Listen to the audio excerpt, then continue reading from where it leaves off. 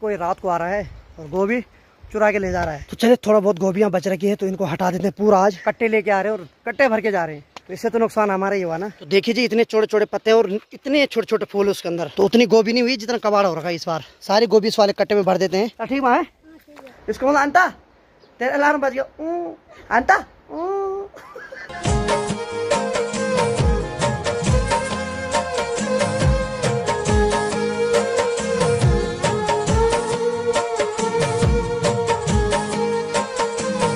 तो चलिए जी, सुबह की साढ़े नौ बज चुकी है और मौसम भी प्यारा हसीन हो रखा है और बाकी सूर्य देव भी नज़र आ रहे हैं। तो इसी के साथ आज के ब्लॉग की शुरुआत भी कर लेता हूँ। तो हेलो दोस्तों, क्या हाल चाल है? मैं बिल्कुल मस्त हूँ और उम्मीद है आप लोग भी जाए होंगे, स्वस्थ होंगे, मस्त होंगे, परिवार के साथ व्यस्त होंगे। मेरा नाम है रविंद्र भगना और स्वागत करता हूँ आपका देवभूमि उत्तराखंड के इस खूबसूरत से गाँव, धौंतरी गाँव से। ब्लॉक की शुरुआत में ही माँ जी जाने लगे घास के लिए ताई जी भी आ रखी यहाँ पे। चलो ठीक है ठीक है, जल्दी आना है। और मधुरी और बिंदु को अंदर बाँध दिया गया क्योंकि धूप बहुत ज़्यादा लग रही है। और आज मैं बहुत लेट में उठा। एक्चुअली क्या हुआ कि मैंने तीन बजे तक एडिटिंग की तो अनिता भी सुबह चलेगी कॉलेज तो अब उसको तो बाद ही में मिलूँगा। तो भाई साहब गर्मी तो बड़ी खतरनाक लग रही भाई आज है? ओहो सूर्यदेव नमस्कार। ठीक ठीक ठीक कोई बात नहीं। तो अभी ताई जी आ रखे थे। एक्चुअली उनके घर से भी मैं आटा लेके गया था। तो वहाँ से जो पूरियाँ शाम को बन के आई ताई जी किसी और गाँव में चले गए थे कल तो फिर वो अपने घर में थे नहीं। फिर वो अभी आए अपनी पूरी को लेने। ताई जी ने कहा कि तुम खा लेते बोले इसको तो हमने कहा कि भाई ये प्रसाद है इसको हम नहीं खा सकते हैं। अगर प्रसाद नहीं होता तो हम इसको खा लेते लेकिन ये आप ही के लिए है ये भगवान ने आपके लिए भोग भेज रखा है। बाकी भाई बहुत गर्मी लग रही है आज मैं अगर सच बताऊँ और बाकी अखरोट के पेड़ पे एक भी अखरोट नहीं रखा है बंदर ने। एक्चुअली क्या हुआ कि कल अनिता कॉलेज थी और मैं श्री गाँव में चले गया था तो माँ घास के लिए गई थी और शेर को किसी ने खोल दिया था क्योंकि वो चिल्ला रहा होगा। और उसके बाद बंदर आए, उन्होंने यहाँ तमाशा कर दिया और पूरे अखरोट खत्म कर लिए। तो कुल मिलाकर बात है कि पहाड़ों में हम जितनी मेहनत करते हैं ना तो उसका हमें 10 परसेंट भी नहीं प्राप्त हो पाता है। क्योंकि या तो बंदर नुकसान कर देते हैं, या तो चोर नुकसान कर देते हैं, और या तो मौसम भी कभी कभी नुकसान कर देता है। तो उसमें से अगर एक परसेंट मिल जाता तो हम उसी में खुश रहते हैं।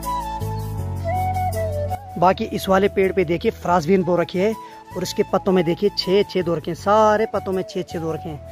तो एक्चुअली इनको कीड़ा खा रहा है। वो कीड़ा दिखाई नहीं देता है, लेकिन वो इनको धीरे धीरे खाता रहता है और पूरी पत्तियों को खत्म कर देता है। और पिछली वीडियो में कमेंट आया था कि आपके घर के सामने जो आपके गाँव में मंदिर बन रहा है, वो कौन से देवता का है? तो मैं बता दूँ, वो हमारी माँ दुर्गा जी का मंदिर है।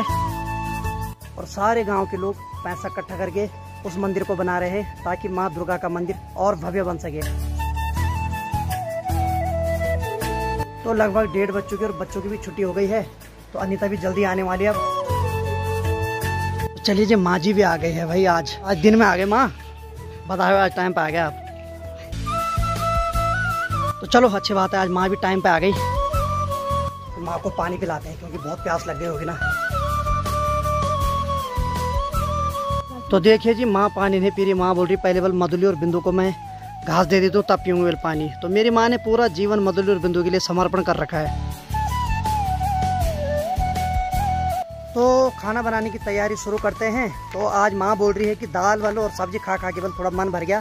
तो आज ऐसा करते हैं, हरी सब्ज़ी बनाते हैं। क्योंकि डेली दाल हो रही है, कभी आलू हो रहे हैं तो कंटिन्यू खा खा के ना थोड़ा मन अजीब सा हो गया है। हमने जो अपने सगोड़े में जो राई बो रखी है तो उसको निकालते हैं थोड़ा। और साथ में मिर्च भी बो रखी माँ ने। और माँ जी ने निकाल दिया मार्छा। और क्या होता है, राई के साथ अगर मार्छा मिक्स करें ना तो काफ़ी स्वाद आता है भाई। तो सब्ज़ी लाने के लिए हमने ये डस्टबिन ला रखा है और इसमें इकट्ठा करके डालेंगे और उसके बाद इनको धुलेंगे, फिर इसको काटेंगे और ये मिर्च भी हो रखी है। तो इस वाले हेड में हमने काफ़ी ज़्यादा सब्ज़ियाँ बो रखी है और ये देखो करेले भी होने वाले हैं और मिर्च तो लगभग हो गई है, राई भी बो रखी है और मार्छा भी और यहाँ ककड़ी, उसकी बेल भी लंबी हो गई तो यानी कि कुछ दिनों बाद ककड़ी भी लगना शुरू हो जाएगी। और यहाँ देखो टमाटर भी बो रखे हैं। बस ये है कि हमें थोड़ा देख के चलना पड़ेगा, क्योंकि ऐसी जगहों में सांप का खतरा होता है।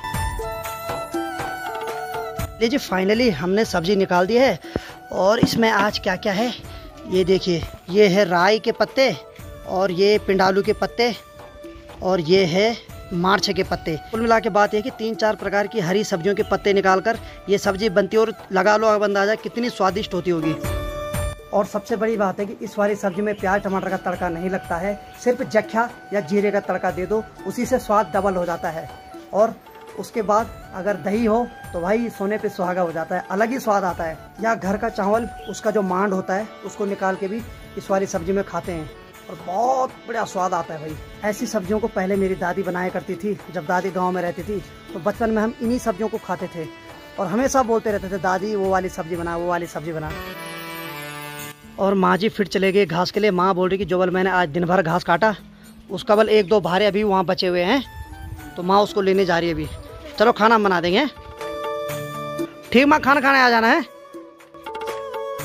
तो चलिए जी, अनीता भी आ गई। क्या हाल है? ये ये जैसे ही आती है और हंसना स्टार्ट करती है। तो इसका मतलब ये आज या तो इसको नींद आएगी क्लास में या इसने मार खाई होगी। क्या हुआ? क्या हुआ? हुआ क्या था क्लास में? आज ये बता बोल आज भी सोई ना? और एक चीज़ बताता हूँ मैं आपको। अनिता का जो अलार्म लगाया हुआ रहता है साढ़े पाँच बजे का ये चुनी मत मारू क्या बता साफ़ साफ़ और इसका अलार्म मैं करता हूँ बंद क्योंकि मैं साढ़े तीन चार बजे उठ जाता हूँ एडिटिंग करने। इसको बोला अनिता तेरे अलार्म बज गया। अनिता तब जाके अनिता बड़ी मुश्किल से साढ़े छः बजे उठेगी। और फिर भी पता कैसे उठेगी? मेरा मन नहीं कर रहा स्कूल जाने का। स्कूल जाने का मन क्यों नहीं कर रहा? क्योंकि नींद आ रही है बस। तो उसके बाद इसकी सर पे एक बाल्टी की पानी मारो। ठीक है भाई, मैं तैयार हो गया भाई। तो चलो, जो भी है, ऐसे होता था हमारा जब मैं स्कूल में पढ़ता था ना। सुबह जिस दिन संडे होता था, उस दिन तो नींद आती नहीं थी। उस दिन सोचना था कि आज पूरा सोऊँगा। लेकिन जिस दिन स्कूल होता था, उस दिन दबा के नींद आती थी भाई। और आप लोगों के साथ भी ऐसी हुआ होगा। बचपन में कमेंट ज़रूर करना। बाकी चले अब अनिता तेरे साथ तो अभी भी हो रहा सही बात है। पर मैंने देखे कुछ लोग ऐसे जिनको नींद बहुत ज़्यादा प्यारी है और कुछ लोग हमारी तरह जिनकी नींद ही हराम हो रखी है। जिम्मेदारियाँ जब बढ़ती है ना, उसके बाद नींद हराम होना स्टार्ट हो जाती है। वो बोलते हैं ना, फिर लिमिट के हिसाब से सोना पड़ता है भाई। और अगर सोएँगे भी तो सपने में वही आएगा कि कल क्या होगा, परसों क्या होगा। ये सब चीज़ें चलती माइंड में। तो चलिए जी, दिन की दो बच्चों हुए खाना रखने की तैयारी हो गई है।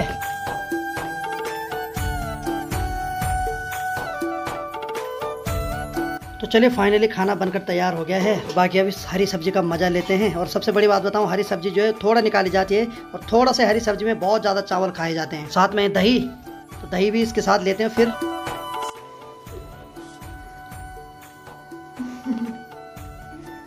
खा खा खा। खा क्यों सर मारी चल चल, खा खा, ठीक है। बंद करो?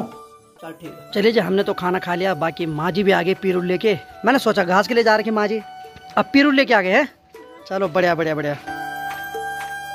तो चलिए जी, माँ भी खाना खाने लग गई है। मैं थोड़ा खेत में जा रहा हूँ, माँ जी जा है वहाँ गोभी निकालने। क्योंकि दो चार गोभी बची हुई है। तो आज धूप भी आ रही तो आज माँ ने कहा कि उनको निकाल देते हैं बल नहीं तो उसके बाद वो सड़ जाएगी। और अभी तो नारंगी पकी नहीं, लेकिन दो तीन महीने में पक जाएगी। अभी सारी नारंगी हरी हो रही है। तो इनको माल्टा भी बोलते हैं जब ये पक जाएँगे तो उसके बाद ये येलो कलर के हो जाएँगे। तो वहाँ है भाई माँ सामने पे। तो सावन ने अपना रूप दिखा रखा है पूरा। सावन जब भी आता है कुछ ना कुछ तोड़ फोड़ ज़रूर करके जाता है। तो चले थोड़ा बहुत गोभियाँ बच रखी है तो इनको हटा देते हैं पूरा आज। बाकी ये जो पत्ते हैं इनको मधुली और बिंदु खाएँगे। तो माँ जी इनको छान के इस वाले कट्टे में डाल दिए। रखो रखो रखो रखो।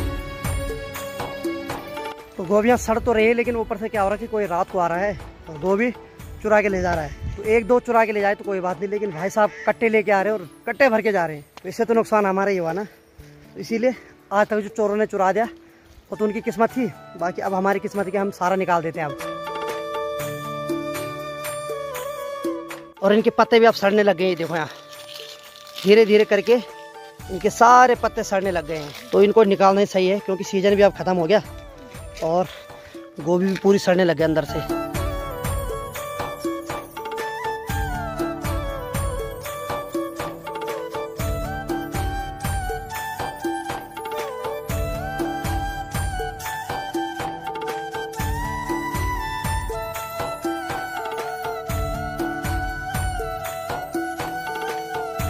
तो देखिए जी, इतने छोटे छोटे पत्ते और इतने छोटे छोटे फूल उसके अंदर।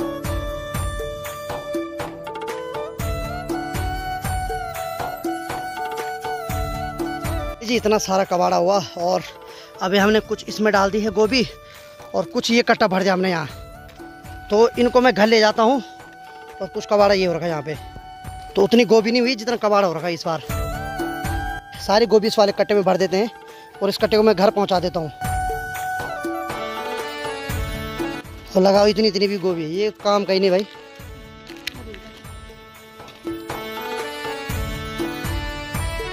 ठीक है? तो भाई इसका जो वज़न हो रखा है लगभग 20 से 25 किलो है। लेकिन इसको मार्केट में नहीं देंगे इस बार। जितने भी रिलेटिव है, सबको देंगे इस बार। पिछली बार भी दिया था, लेकिन इस बार भी देंगे इसको अब। सही बना नहीं, उनको भी जाना तो चलिए जी फाइनली अंदर ला दिया कट्टा। और बहुत ज़्यादा गर्मी हो रही भाई। हाँ। सावन के बाद अब पसीना का सावन आने वाला भाई अब।